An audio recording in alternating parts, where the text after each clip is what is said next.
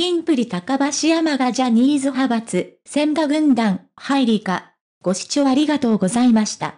素早く最新情報をもらえるように、チャンネル登録ボタンをよろしくお願いいたします。ありがとうございます。平野紫耀、岸優太、神宮寺勇太が脱退し、5月23日からは永瀬廉と高橋海人の二人体制で活動している King & Prince、キンプリ。5月20日には生放送されたメニュー101拡大版 NHK 総合に出演し、5人での最後のテレビ出演を果たして大きな注目を集めた。脱退する平野と神宮寺は、すでにジャニーズ事務所を退場。さらに、岸も今年9月30日をもって退場することを発表している。二人きりになったキンプリが、これからどういった活動をしていくのか？ファンは疑問に思っていたところだが、5月23日の午後7時から YouTube や Instagram で行われた同時性配信で今後について発表があった。6月21日には13枚目のシングル何者をリリースしさらに7月2日には金プリ発となるファンミーティングを有明アリーナで開催。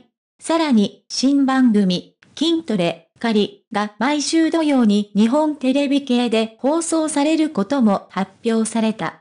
二人体制での活動が活発化しそうですが、ライブではなくファンミーティングというのが気になるところ。もしかしたら、これまでのような大規模コンサートは開かれないのではないかと不安視するファンもいるようです。スポーツ神記者。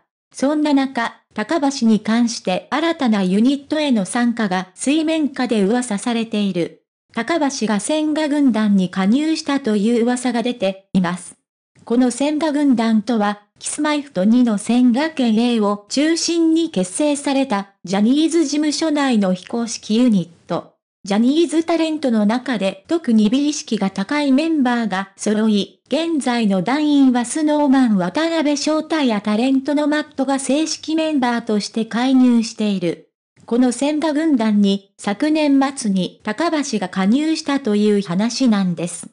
橋は先輩たちから美容に関する情報をゲットして知識を蓄えているところのようです。道場。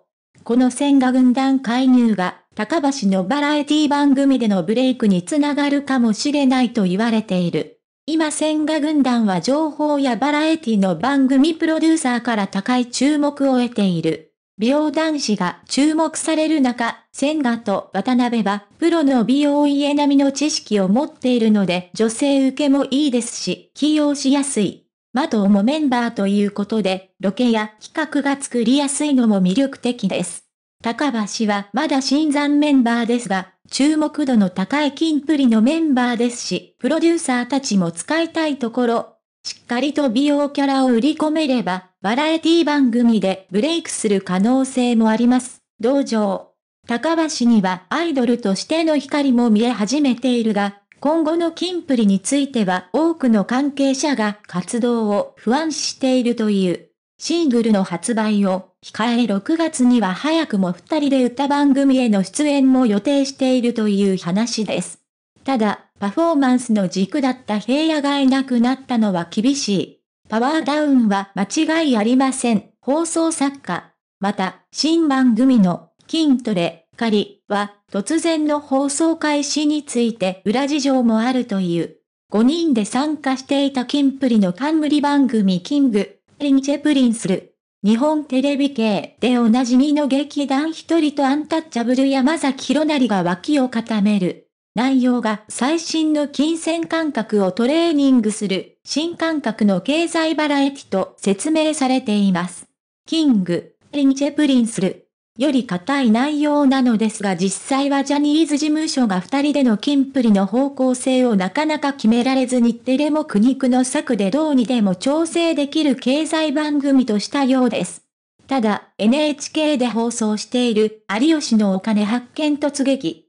金尾くん、と内容が似そうで長続きしないのではないかという声がもはや聞こえています。民放関係者。ただ、この筋トレ仮で、高橋の美容キャラを開花させられるチャンスがありそうだと日テレ関係者は話す。平野の天然のように二人には視聴者が覚えやすいキャラ付けが必要になる。高橋は、筋トレ、狩りで大々的に美容キャラを披露するという話です。化粧品や美容男子などを取り上げれば、経済効果など番組の内容にも合わせられますし、何より高橋を美容キャラで売り出すチャンス。早々に、千賀軍団をゲスト出演させる案もあるという話です。日テレ関係者。衝撃の脱退騒動を起こしたキンプリは、辞めていくメンバーも、残ったメンバーにも様々な試練が残りそう。5人の未来に幸をからんことを。平野志陽さんプロフィール1997年1月29日生まれ、愛知県出身。